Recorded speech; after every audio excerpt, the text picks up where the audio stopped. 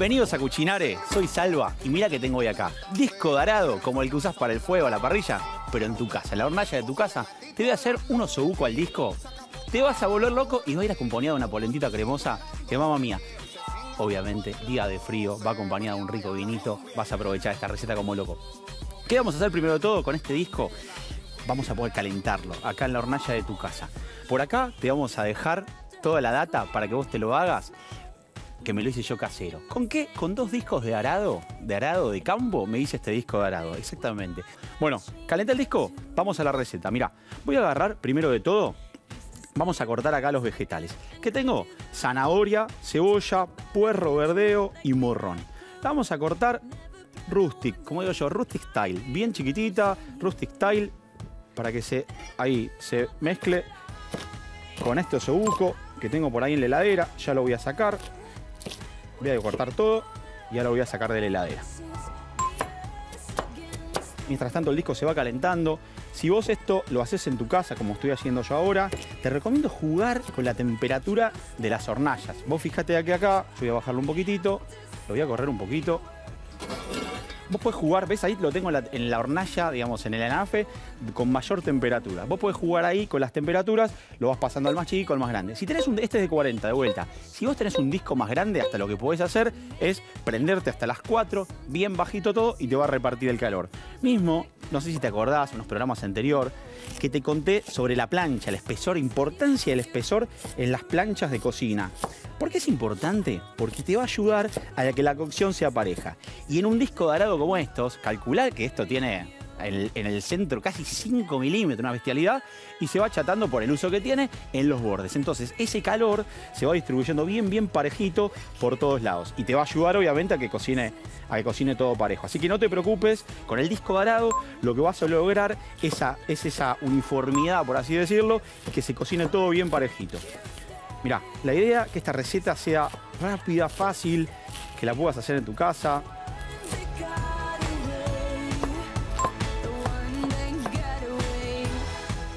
Mira, ya me corté todos los vegetales por acá.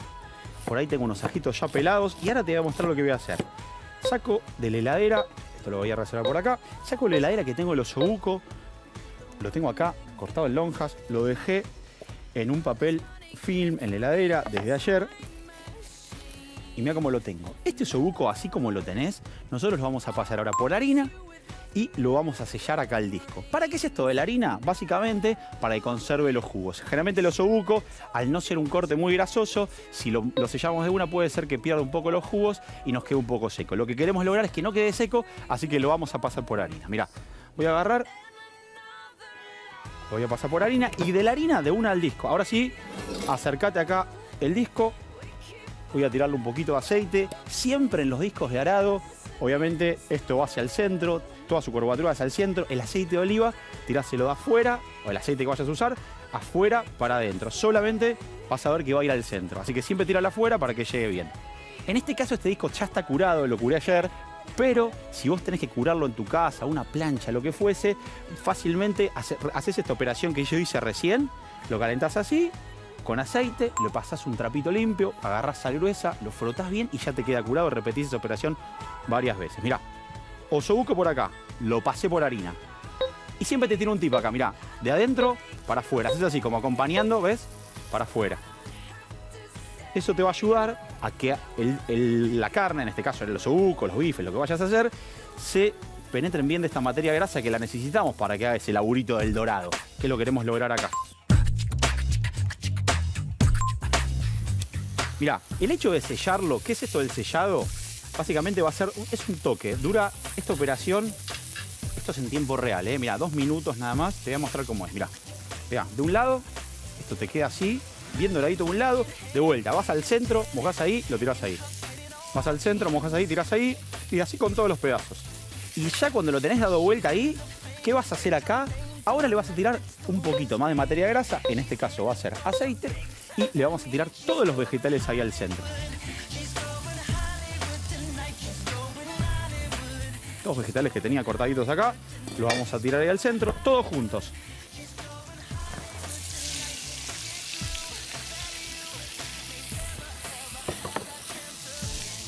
Me traje este para ayudarme.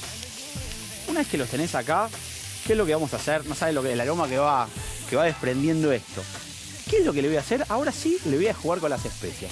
A mí me gusta, mira, ají molido, me gusta un poquito el picante. Vamos a meterle pimentón, vamos a meterle unos ajitos, un poquito de tomillo que tengo por acá y vamos a meterle sal y pimienta. Primero de todo, para que suden un poquito ahí la cebolla, un poquito de sal.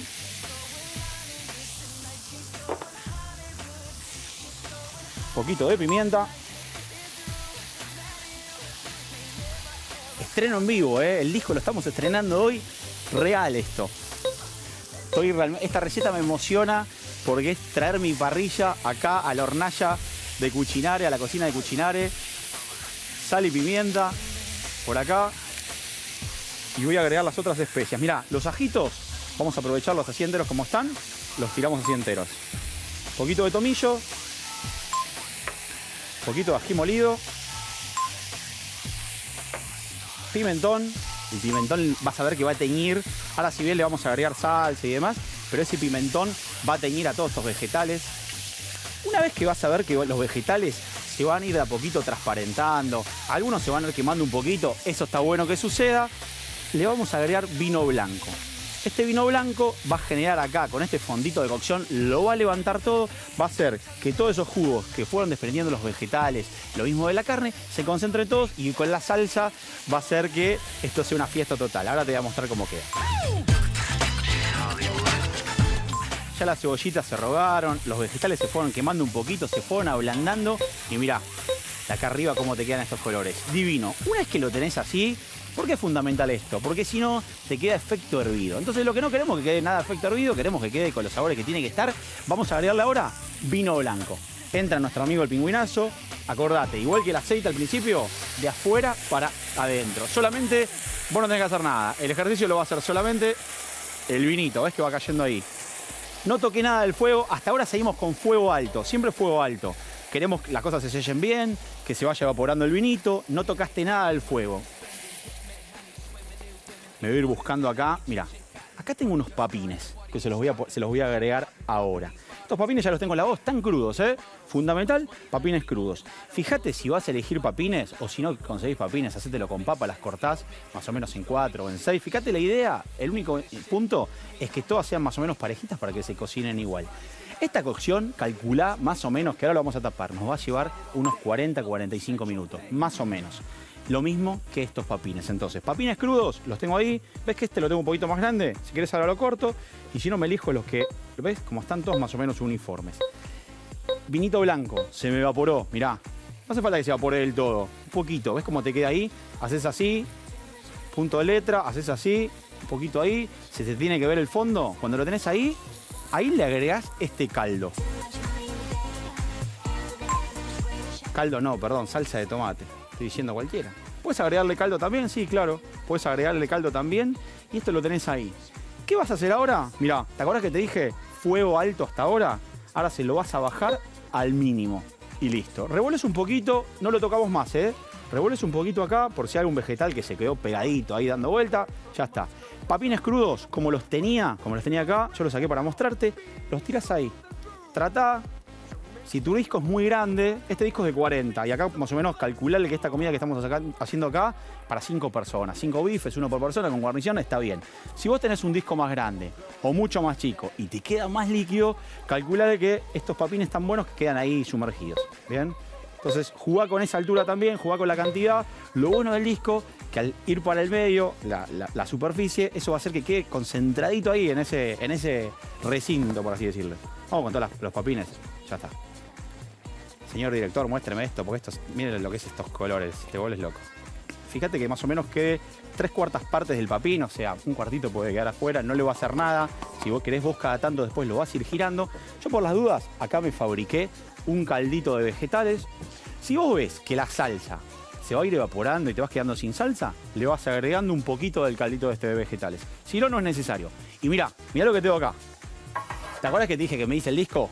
Me hice dos discos. Uno con este, uno con este fleje que hice acá y te dejamos los planos. Y otro con este. Este es otro disco dorado, es igual, si ven la superficie distinta. Acá lo tapé, me lo soldé acá, le puse unos bolones y lo soldé y lo curé. también. Y me dice, con esta otra plancha, que con esta plancha vos podés agarrar acá en la hornalla también, esta es re fácil de hacer, ¿eh? En la hornalla de tu casa podés hacerte unos bifes, podés hacerte unos huevos, podés hacerte un salteado de vegetales, puedes hacerte lo que quieras. Yo en este caso voy a aprovechar que lo tengo así, ¿qué voy a hacer? Lo voy a usar de tapa, ¿bien? Vos no tenés esto, no tenés la tapa. A mí me pasa en el otro disco que tengo en casa, no tiene tapa. ¿Qué hago? Papel aluminio, te recomiendo que el papel aluminio lo pongas en una mesada, agarras dos papeles, los juntes en el medio y los sellas bien. Lo que queremos formar acá es un recinto cerrado. ¿Ves que no sale nada ahí? Bueno, un poquito por acá. Si vos ves, esta receta te va a tardar 40, 45 minutos, como te decía. Si ves que al minuto 20 vos chusmeás acá, te tentás a ver cómo viene, haces así, y ves que va quedando poca salsa de tomate, le agregas un poquito del caldo de cocción de ese. ¿Bien? Cuanto más lo dejes, acuérdate, fuego mínimo y antes que vuelva a taparlo, miren lo que es esto. Mamma mía lo que está esto, ¿eh? ¿Y sabes con qué lo vamos a acompañar? Con una polenta cremosa, vino el frío, polentita cremosa con polenta y obviamente me voy a tomar un rico vinito para acompañar esta receta que es fundamental. Ya pasaron 40 minutos. Puse a hervir acá leche. Mirá, voy a así. Puse a hervir leche con unas hojitas de laurel. Voy a apagar acá el fuego y le voy a ir agregando polenta. Sí, señor. Mira, en forma, en forma de lluvia, primero de todo, vamos a sacarle las hojitas de laurel para que no nos queden ahí dando vuelta. Primero de todo, ya me estaba olvidando. Le sacás las hojitas de laurel. Ahora sí, ya saborizó bien esta leche. Apagué el fuego y le vas a ir agregando la polenta en forma de lluvia. La idea es lluvia y revolviendo. Lluvia y revolviendo, porque con esta es más fácil acá estoy usando más o menos 250 gramos de polenta con un cuarto de sachet de leche, que serán obviamente 250 centímetros cúbicos. Lo vas agregando así. Siempre revolvé para que no queden grumos. Vos acá obviamente podés jugar. Yo la hice con leche. Vos en tu casa podés hacer esto mismo con agua, con un caldo, lo que quieras. A mi gusto, la leche queda buenísima. Y mira lo que tengo acá. Voy a ir corriendo esto por acá. Saco acá. Le voy a agregar un poquito de sal. Apenitas, ¿sabes por qué? Porque mira lo que le voy a poner acá. Como hacía la nona, le ponía la polenta cremosa con un poquito de mozzarella. Un poquito bastante. Seguimos revolviendo. Revuelva, revuelva, revuelva. Ya la polenta está caliente. Mira, lo dejo esto por acá. Agarras unos trapos secos y mira esto. Ay, ay, ay.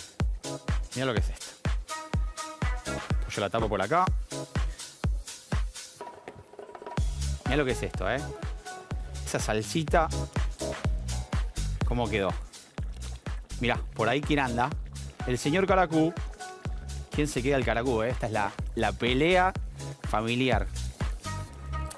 Obviamente estamos en época de COVID, si no yo quedaría, sabes que acá agarras un pancito, lo mojas. Vamos a evitar eso, cada uno come en su plato Cuidemos eso, por favor. Ya los papines, mira, vamos a hacer la prueba. Te voy a hacer una prueba. ¿Cuándo te das cuenta que ya está listo esto? Obviamente ya el carucu se desprendió y mira los papines. Pones el cuchillo así. Apenas los pinchás, no, tenés que sentir, digamos, resistencia a pincharlo, ya está listo. Y no, la idea es que estén bien cocidos, pero que no se nos desarme, no se nos haga un puré, porque si no te queda todo un puré. Por eso te digo, no toques mucho, no revuelas mucho, que esto se hace solo. Mira cómo te quedó. Hermoso.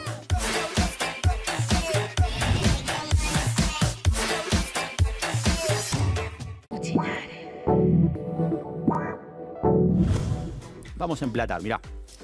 Vas a agarrar un poquito del osobuco.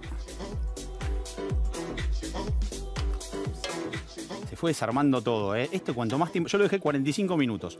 Vos en tu casa, si lo dejás más tiempo, fueguito bien bajo, vas a ver que este caldo se va a ir, este caldo, esta salsa, perdóname, se va a ir evaporando. Vos en tu casa, si querés, le podés ir agregando de vuelta al caldo, como te conté al principio. Y tenés un estofado tremendo. Esta receta es bien de mi casa. De chico se comía muchísimo esto con, con polenta, lo hacía, lo hacía la nona ahí los domingos junto con, con la lasaña.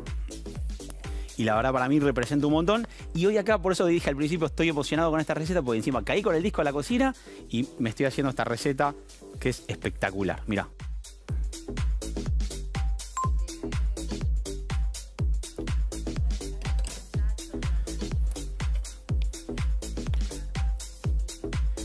Acá. Voy a aprovechar acá. Hice un poco de lío. Rollito de papel.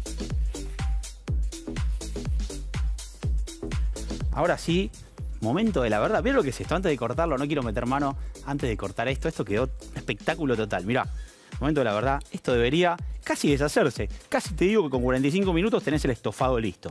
Mira lo que es esto. Se desarma la carne. Solamente mira cómo quedan todas las fibras de la carne. ¿Lo ves ahí? ¿Cómo te queda? Se desarma solito. Haces así un poquito. Un poquito con esto. Lo acompañás con un poquito de polenta. Quema, ¿eh?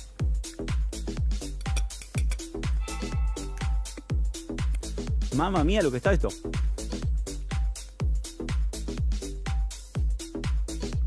Amigos, háganse esta receta que la rompe toda. Fiesta total de sabores, disco a tu casa. Los espero el jueves que viene para más recetas bombas como esta. Salute. Chau, chau.